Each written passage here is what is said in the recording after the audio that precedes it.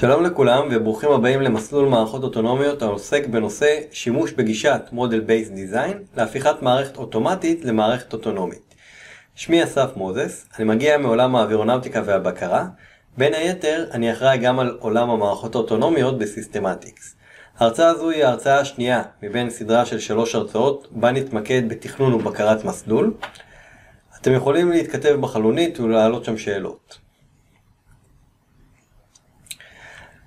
מערכת אוטונומית היא מערכת אשר מתפקדת בצורה עצמאית לחלוטין, או בצורה מפוקחת, ופועלת בתנאי אי ודאות, בסביבה לא ידועה ודינמית, ובמקרים רבים גם לא צפויה מראש. מערכות אוטונומיות עשויות לצבור ידע חדש או להתאים עצמם לסביבה משתנה, במטרה להשלים את ייעודן. בכדי לעמוד במשימתן, מערכות אוטונומיות יכולות לרכוש מידע מהסביבה בה הן נמצאות, לנוע בצורה עצמאית, להימנע ממצבים מסוכנים, ולפעול למשך תקופה ארוכה ללא התערבות אדם. במסלול זה של מערכות אוטונומיות נתייחס למספר נושאים. הפלטפורם, סביבת פיתוח המאפשרת לנו למדל את המערכת עצמה, נכיר ונתייחס למספר מסגרות היכולות להוות את הפלטפורמה של המערכת, הפלנט. חישה, מתייחס לכיצד אנחנו יכולים למדל ולסמלץ חיישנים שונים ולבצע היתוך של מידע המתקבל מהם. תפיסה, perception, תהליך סיווג או פענוח המעניק משמעות לסביבה ומאפשר למערכת לדעת מול מה היא מתמודדת. תכנון המסלול מתייחס למיפוי אזור העבודה, היכן המערכת נמצאת ותכנון מסלול עבור תנועת המערכת. בקרת תנועה או בקרת מסלול, אלגוריתמים המוודאים כי המערכת אכן פועלת על פי המסלול שתוכנן, וקישוריות, נושא המתייחס למה אנחנו יכולים לעשות עם הסימולציה מפה והלאה. ייצור קוד ופריסתו על גבי חומרות, אינטגרציה עם מערכות תוכנה נוספות, הרצת אלגוריתמים והמודלים על גבי סימולטורים פיזיקליים ועוד. בהרצאה הקודמת הוצגו היכולות של חישה, sensing ותפיסה, perception. במהלך ההרצאה הזו אתמקד בנושאים של תכנון ובקרת מסלול, ונקשור נושאים אלו יחד עם תהליך ה Model-Based Design, בו המודל במרכז וכל שאר הפעולות סובבות סביב המודל. כפי שציינתי, ההנחה היא שיש לנו כבר מודל של המערכת, את הפלנט, או את המערכת עצמה, נתמקד כעת ביכולות של תכנון מסלול, ה-Path Planning, המאפשרות מיפוי אזור העבודה, הבנה היכן המערכת נמצאת ותכנון המסלול עבור תנועת המערכת. כאשר אנחנו מדברים על תכנון מסלול, אנחנו מתכוונים לניווט שהוא עולם בפני עצמו. המערכת שלנו יכולה להיות מערכת קרקעית כמו רכבים, או ימית כמו ספינות וצוללות, או מערכת אווירית כמו מטוסים, רחפנים ועוד. אולם בכל אחת מהן אנחנו צריכים להתייחס למספר שאלות. מה המיקום הנוכחי שלי ולאן אני הולך או מתקדם, אם זה תכנון ההתנהגות. מהו המסלול האופטימלי בכדי להגיע מנקודה A לנקודה B, שהוא מתייחס לתכנון המסלול עצמו. היכן המערכת כבר הייתה ומה היה שם, מתייחס למיפוי והימנעות ממכשולים. היכן המערכת נמצאת על המפה, שזה המיקום, ה localization, ומה לגבי מקרים בהם אין לנו את המפה או האזור הפיזיבילי בה המערכת יכולה לפעול, מתייחס ל SLAM. כאן אנחנו רואים דוגמה לרכב שמבצע חנייה אוטונומית, יש לו את מפת החנייה, הוא נמנע מלהתנגש ברכבים חונים או ברכבים נוסעים, כמו הרכב שיצא מהחנייה. הרכב צריך לבצע תכנון מסלול בכדי להיכנס למשבצת החנייה ולוודא שהמסלול אכן מתבצע.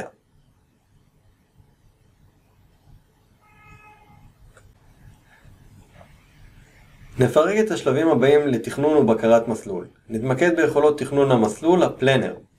אנחנו רוצים מערכת שתנוע מנקודה A לנקודה B, בהנחה שאנחנו כבר מכירים את הסביבה. פלטי אלגוריתם תכנון המסלול מייצגים את הנתיב המתוכנן שיש לבצע.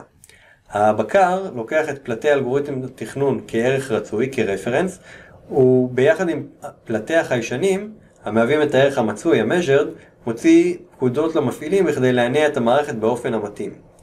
מערכת תכנון המסלול מקבלת את מפת הסביבה, נתמכת במספר פורמטים, כאשר כאן אנחנו השתמשנו ברשת תפוסה, יש חומר, אין חומר, זה אומר 0 או 1, המיקום ההתחלתי של הרובוט, המיקום הסופי של הרובוט, הוא מחזירה לנו את המסלול הרצוי.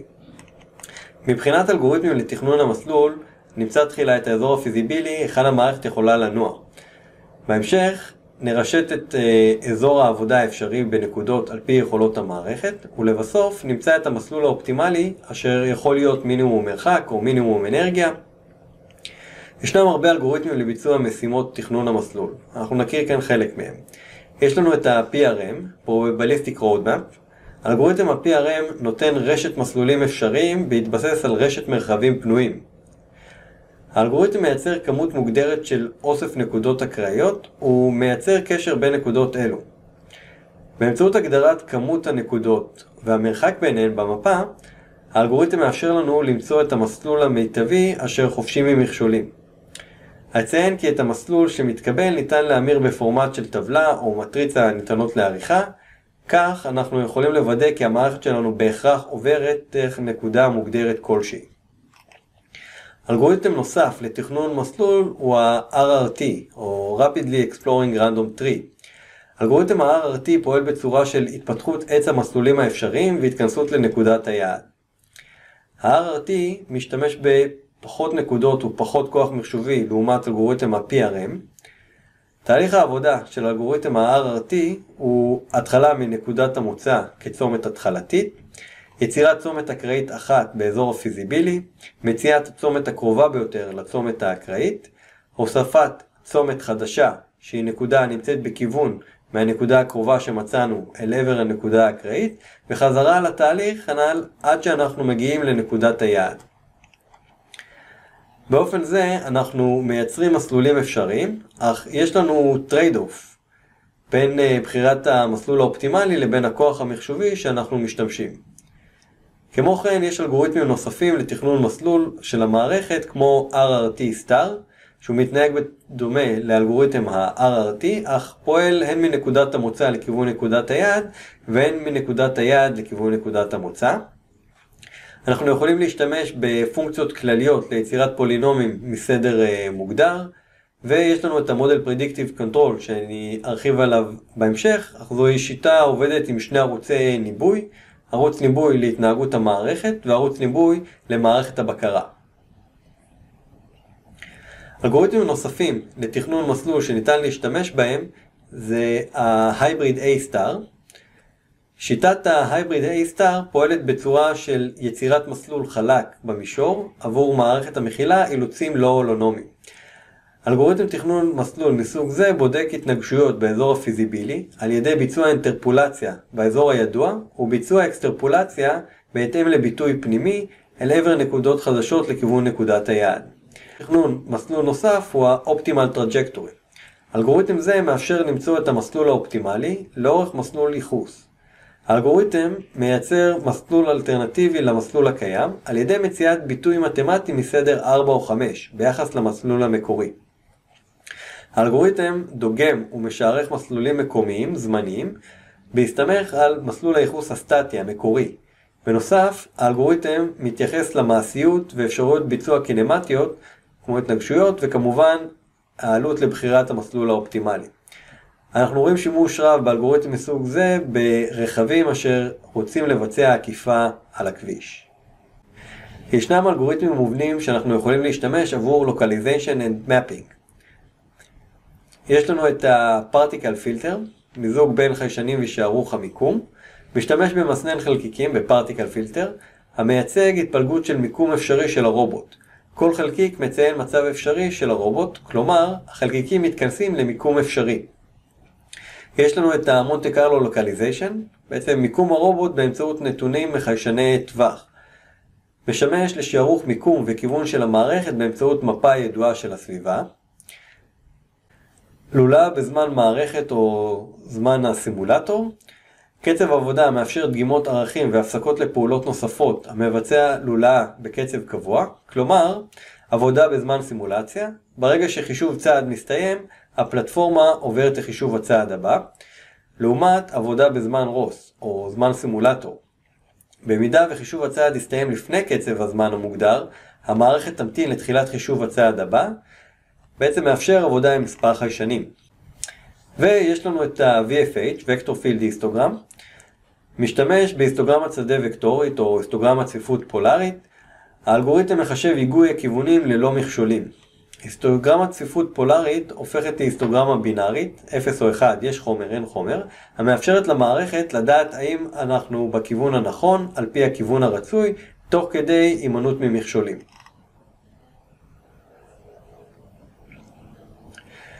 ראינו אלגוריתמים לתכנון מסלול, הכרנו יכולות של mapping שמתייחסות לסביבה מוכרת בה המערכת פועלת, וראינו יכולות של localization, כלומר איפה המערכת נמצאת בסביבת העבודה.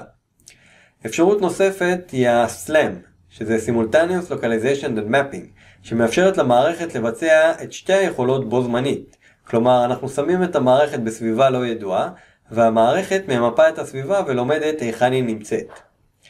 בכדי לבצע SLAM, אנחנו צריכים לחלק את החיישנים שלנו לשתי רמות. יש לנו חיישנים לחיווי מקומי, שמאפשרים לנו לשערך את תנועת המערכת המקומית, ולזהות מקומות בהם המערכת כבר ביקרה. ויש לנו חיישנים לחיווי גלובלי, המאפשרים לתאם ולסנכרן בין הקריאות מהחיישנים. הבעיה שנוצרת כאשר עובדים עם חיישנים מקומיים בלבד היא שנוצרת סחיפה או שגיאה מצטברת לאורך זמן, drifting, שעלולה לגרום לנו לעצור את עבודת המערכת ולקהל אותה כל פרק זמן מסוים. כמו כן, כתוצאה משגיאה מצטברת, המערכת יכולה לחזור למקום קרוב בו כבר שהתה, ולא לזהות את העובדה שכבר ביקרה בו, משהו שנקרא Loop Closure. לכן עבור סלאם יש צורך בחיישנים מקומיים שיאפשרו למערכת לפעול בצורה נכונה, למשל זיהוי אובייקטים והימנעות ממכשולים, ובנוסף יש צורך גם בחיישנים גלובליים בכדי לעזור למערכת להבין טוב יותר היכן היא נמצאת ואת התנהגותה. למשל, מערכות INS, GPS ושימוש במנגנון ה-Sensor Fusion בכדי לשערך טוב יותר את מיקום המערכת. יכולת הסלאם תאפשר למערכת, אם היא קרקעית או מערכת אווירית, למפות את הסביבה, ובנוסף לזהות היכן היא נמצאת באותה סביבה, כל זאת תוך כדי עבודתה. אנחנו יכולים לייצר רשת תפוסה תלת-מימדית של הסביבה. ניתן לייצר רשת זו מנתוני point cloud. את נתוני ה-point cloud אנחנו יכולים לייצר מחיישנים כגון ליידר, מצלמת עומק של RGBD, ואף לייבא נתונים מסביבת רובבג וכלים מעולם של ראייה ממוחשבת. עד כה דיברנו בהרצאה הזו על מתכנן המסלול, הפלנר, אשר מייצר מסלול שעל גביו המערכת צריכה לנוע. בחלק זה נציג יכולות בקרה אשר יאפשרו למערכת לעקוב ולוודא כי המסלול המתוכנן אכן מבוצע. בקרת המסלול לוקחת את המסלול שתוכנן על ידי הפלנר, האות הרצוי, ומחשבת את הפלטים הרצויים בכדי להפעיל את הרכב לאורך מסלול הרצוי. זאת בהשוואה למדידות החיישנים, האות המצוי. גם כאן נחלק את מערכת הבקרה לשני חלקים. יש לנו תת מערכת של התנהגות הפיזיקלית של המערכת, ה-Vehicle Model, זה קירוב גס, או תת מערכת של בקרת המסלול, ה-Pet Controller. בכדי לתכנן ולבדוק את הבקרה שלנו, אנחנו זקוקים למודל של המערכת הרובוטית. יש לנו מספר אפשרויות לפיתוח דינמיקת המערכת, תלוי כמובן ברמת הדיוק שאנחנו זקוקים לה. ניתן לממש את משוואות הקינמטיקה והדינמיקה באמצעות מטלב וסימולינק. אלה הן שיטות טובות מאוד עבור מערכת בה אנו כבר יודעים את המשוואות הדיפרנציאליות המייצגות את משוואות התנועה. עבור מערכות רובוטיות מורכבות יותר, ניתן להשתמש בכלים למידול פיזיקלי, כלים בהם אין צורך למצוא את המשוואות הדיפרנציאליות המייצגות את המערכת. המשוואות מחושבות בצורה אוטומטית על פי מבנה המערכת שהגדרנו, נוח מאוד עבור מערכות מולטי דיסציפלינריות. כמו כן, ישנם כלים ופתרונות נוספים המאפשרים לנו למדל את המערכת שלנו בצורה מהירה, אם במערכות קרקעיות כגון רכבים, או מערכות אוויריות כמו רחפנים. כעת, כשיש לנו את המודל של המערכת, אנחנו יכולים להתחיל ולתכנן את בקרת המסלול. לפנינו בלוק ה-Pure Pursuit, זהו אלגוריתם בסיסי של מעקב אחר המסלול. הוא מחשב את פקודת המהירות הזוויתית v אשר מזיזה את הרובוט מהמיקום הנוכחי, המוצע, אל מיקום היעד. אנחנו מניחים כי המהירות הקווית VR היא קבועה, כלומר, ניתן לשנות את המהירות הקווית בכל נקודת זמן על ידי המפעיל, למשל פקודות האצה או האטה, והמהירות הסיבובית, ה-v-תטא, תחושב על ידי האלגוריתם בהתאם לשינוי, כדי לשמור על המסלול. האלגוריתם עובד בצורה שהוא רודף אחרי נקודה הנמצאת מולו, על פי המסלול מהפלנר. יישום האלגוריתם Pure Pursuit הוא פתוח. חקירה של המימוש שלו תיתן לנו תובנות עבור תכנון אובייקט מערכת, כך שנוכל להשתמש באלגוריתם שאנחנו נפתח. אנחנו יכולים לקחת את אובייקט Pursuit ולהוסיף לו תכונות ופעולות שאנחנו רוצים, ולהשתמש בהן באלגוריתם החדש שלנו. ניקח מקרה נוסף, רכב הנוסע על כביש מהיר. במקרה שלפנינו אנחנו רוצים להגדיר מספר מטרות למערכת. שליטה על מהירות הרכב לקבלת המהירות הרצויה, תוך שמירה על מרחק ביטחון מספק מהרכב שלפנינו, שמירה על מיקום הרכב כך שיישאר באמצע נתיב הנסיעה, למשל בעיקולים, ולהאט את מהירות הנסיעה כאשר מסלול הכביש מפותל מדי. ניתן לפתור את הבעיה שלפנינו במספר דרכים, כאן נשתמש בשיטת ה-Model Predictive Control או MPC עבור בקרת המסלול. ה-MPC מכיל בתוכו את מודל הרכב, ה-Plant Model, גם אם בצורה מופשטת, ומנגנון אופטימיזציה, האופטימייזר, ופועל גם על פי הגדרת משקלים ואילוצים במערכת. ה-MPC עובד בתוכו עם שני ערוצי פרדיקציה, ערוץ עבור ה plant, בעצם מודל פנימי המנבא את התנהגות המערכת עבור פרק זמן עתידי. עבור המערכת אנחנו חוזים את ה-Prediction Horizon, והוא יהיה בדרך כלל כמה שיותר ארוך, במידה שעדיין לא תפגע ביעדי המערכת. עבור ערוץ ה controller, מערכת הבקרה, אנחנו חוזים את ה-Control Horizon, שהוא טווח החיזוי כיצד לבקר את המערכת. זאת בהתחשב בקלטים, בפלטים, אילוצים על הכניסות ויציאות והשעיות בזמן. אנחנו רואים כאן שבקר ה-MPC מקבל את אות הייחוס הרצוי, הרפרנס, הוא מקבל את המדידות מהמערכת עצמה, ה-Model Outputs, שיכולות להכיל מספר אותות מדודים, וניתן גם להכניס מודל של רעשים הפועלים על המערכת שאנחנו מבקרים. כאן אנחנו מתמקדים במודל של זיהוי ועקיבה אחר שוליים של הכביש, כאשר ההתמקדות היא בבקרה. תת המערכת של הבקר ממוקמת במרכז, הוא מקבל כקלטים את הפקודות והמדידות, ומוציא את האותות הרצויים למערכת המבוקרת, במקרה הזה רכב. אלגוריתם מערכת בקרה שלפנינו מכיל שלושה חלקים. תת מערכת לשערוך מרכז המסלול, ה-Lane Center, למנוע סטיות לא רצויות. תת מערכת לשערוך המרחק מהרכב שלפנינו, שמירה על מרחק ביטחון. וכמובן את בקר ה-MPC עצמו בצד ימין, שהוא לב מערכת הבקרה.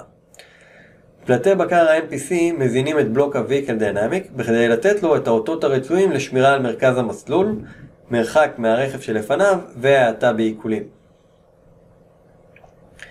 בכדי לקשור את המבנה הכללי של הבעיה שלפנינו, נראה מהם הגדלים והאותות המתאימים לדוגמה של בקרת עקיבה אחר מסלול. מנקודת מבט של הרכיב האורכי ה-Longitude, מבחינת ה-References, אות הייחוס שלנו הוא מהירות הרכב שנקבעה על ידי הנהג. ה-Manipulated Variables, האות הנשלט כאן הוא רכיב התאוצה A, בכדי לשלוט על הרכיב האורכי. ה-Measured Disturbance או ההפרעות או הרעשים שיש לנו במערכת כאן זו המדידה של הרכב שלפנינו. ה-Measured Output זה הקריאות והמדידות שאנחנו מקבלים בחזרה אל הבקר, המרחק היחסי מהרכב שלפנינו והמהירות הרכב עצמו. מנקודת מבט של הרכיב הרוחבי, ה-Latitude, References, הסטייה האפשרית ממרכז המסלול, הגדרנו אותה כאפס, אנחנו לא רוצים סטייה מהמסלול. ה-Manipulated Variable, זה האות הנשלט כאן, הוא זווית ההיגוי, הדלתא. ה-Measured Disturbance, או ההפרעות או הרעשים שיש לנו במערכת, כאן זה העקמומיות, או רדיוס העקמומיות של המסלול, row. וה-Measured Outputs, הקריאות והמדידות שאנחנו מקבלים בחזרה אל הבקר, הסטייה מהמסלול בפועל והזווית היחסית מהמסלול הרצוי. מה שמנגנון האופטימיזציה בתוך ה-MPC מנסה לבצע זה למצוא את המינימום בין מהירות הייחוס לבין מהירות הרכב בפועל, וגם למזער את השפעת שגיאת הסטייה הרוחבית. ה optimizer מנסה לפתור בעיה זו תוך התייחסות לאילוצים שקיימים לנו במערכת. שהמרחק היחסי יהיה גדול או שווה למרחק הביטחון בין שני הרכבים, ערך תאוצת הרכב ינוע בתחום פיזיקלי בין ערכי תאוצה מקסימלית ומינימלית שנקבעה, ושערך זווית ההיגוי גם כן ינוע בתחום פיזיקלי בין זווית מקסימלית ומינימלית שנקבעו מראש. הרעיון בהסתכלות קדימה, prediction, הוא לקבוע כמה מוקדם על המערכת להגיב תוך הבנה של הסביבה והאובייקטים נוספים הנמצאים בתוכה. הכרנו כעת את שיטת ה-Model Predictive Control, ראינו ממה היא מורכבת וכיצד ניתן לעבוד עימה. אנחנו יכולים להשתמש בבקר מסוג MPC ליישום בקרה נמוכה לתתי מערכות ברכב, למשל מערכת הבלמים בצד שמאל, כמו כן, אנחנו יכולים להשתמש בבקר מסוג זה עבור בקרה גבוהה, ולוודא כי המערכת אכן עוקבת אחרי מסלול מוגדר, כפי שראינו כאן היום. בדוגמה בצד שמאל אנחנו רואים שני רכבים עם בקרה שונה עבור מערכת הבלימה. הרכב האפור מכיל בקר MPC והרכב הירוק משתמש בבקר PID. ניתן לראות כי הרכב האפור שהשתמש בבקר MPC ביצע את פקודת העצירה טוב יותר, מרחק הבלימה שלו קצר יותר וזווית הסטייה גם כן קטנה יותר. זאת בהשוואה לרכב הירוק המשתמש בבקר PID. בדוגמה בצד ימין אנחנו רואים את המערכת שהתמקדנו בה עד כה, שמשתמשת גם כן בבקר MPC, שתוכנן עבור המטרות שהגדרנו, שמירה על מרחק ביטחון מהרכב שלפנינו, מניעת סטייה מהמסלול, והאטה כאשר העיקולים חדים מדי. כפי שציינתי בהתחלה, זו הייתה ההרצאה השנייה מבין סדרה של שלוש הרצאות בנושא מערכות אוטונומיות. בהרצאה הזו התמקדנו בתכנון מסלול, ה-Path Planning, ובקרת מסלול, ה-Path Following. ראינו כיצד אנחנו יכולים להגדיר את הסביבה בה המערכת פועלת, ה-Mapping, ולזהות היכן המערכת נמצאת בסביבה זו, ה-Localization, וכיצד אנחנו יכולים לפעול כאשר אזור העבודה ידוע או לא ידוע למערכת, זה נושא ה-SLAM. כמו כן, הכרנו אלגוריתמים שונים המאפשרים לנו לתכנן את המסלול הרצוי. בנוסף, הכרנו אלגוריתמים של בקרת מסלול, המאפשרים לנו לוודא כי המערכת אכן פועלת על פי המסלול המתוכנן, ראינו אלגוריתמים מובנים, והכרנו את פתרון ה model predictive control ויישומו בעולם המערכות האוטונומיות. אתם מוזמנים להישאר להרצאה הבאה, בה נדבר על בקרת מסלול בשימוש עם למידת חיזוק וקישוריות. תודה רבה לכם, נעבור כעת לשלב השאלות ותשובות, ה-Q&A. אתם מוזמנים להעלות שאלות נוספות בחלונית.